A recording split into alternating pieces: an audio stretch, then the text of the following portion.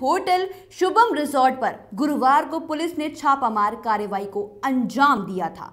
इस पूरे घटनाक्रम में पुलिस ने सपा नेता समेत सात लोगों के खिलाफ मुकदमा दर्ज कर देह व्यापार के एजेंटों को जेल भेजा है।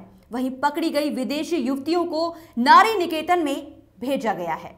ताजनगरी में चल रहे सेक्स रैकेट मामले में पुलिस के आला अधिकारियों ने अपनी नज़र टेढ़ी कर ली है। ताजगंज पुलिस ने सपा नेता राकेश अग्रवाल समेत सात लोगों के खिलाफ अनैतिक दह व्यापार अधिनियम के तहत मुकदमा दर्ज किया है। फर्जी आधार कार्ड मिलने पर विदेशी युवती के खिलाफ धोखाधड़ी और कूट रचित दस्तावेज़ तैयार कराने की धारा लगाई है। मौके से गिरफ़्तार युवतियों को नारी निकेतन और उनके दोनों एजेंटों को अदालत के आदेश पर जेल भेज दिया गया है। इस पूरे ऑपरेशन में जिला उद्धार अधिकारी की अहम भूमिका रही है। मिंदर सिंह ही लगातार सात दिनों से ग्राहक बनकर दह व्यापार के एजेंट भीमा से बात कर रहे थे। विश्वास होने पर भीमा ने मिंदर सिंह के व्हाट्सएप पर दो विदेशी युवतियों के फ़ोटो डाले थे। जब जिला उद्धार अधिकारी ने एजेंट से युवतियों की कीमत पूछी तो उन्होंने एक घंटे के चार हज़ार, पूरी रात के पच्चीस हज़ार रुपए बताए थे। इस पूरे ऑपरेशन को एक कोड दिया गया था, जिसका नाम था साथी।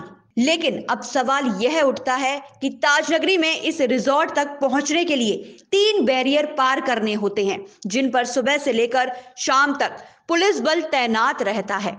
सबसे बड़ी बात यह है कि इस जिस्म फरोशी के अड्डे से सुरक्षा का कार्यालय भी महज 200 किलोमीटर की दूरी पर है। फिर भी कितने धड़ल्ले से इस होटल में जिस्म फरोशी का धंधा गुलजार हो रहा था। पूर्व में भी ऐसे कई व्यापार के अड्डे पर पुलिस ने छापामार कार्रवाई को अंजाम दिया था। लेकिन सत्ताधारी नेताओं के दबाव के चलते पुलिस ने होटल संचालकों को क्लीन चिट दे दी थी। लेकिन अब देखना यह होगा कि सपा नेता राकेश अग्रवाल के खिलाफ कठोर कार्रवाई करती है या फिर इस बार भी राजनीतिक दल पुलिस महकमे पर भारी पड़ेगा।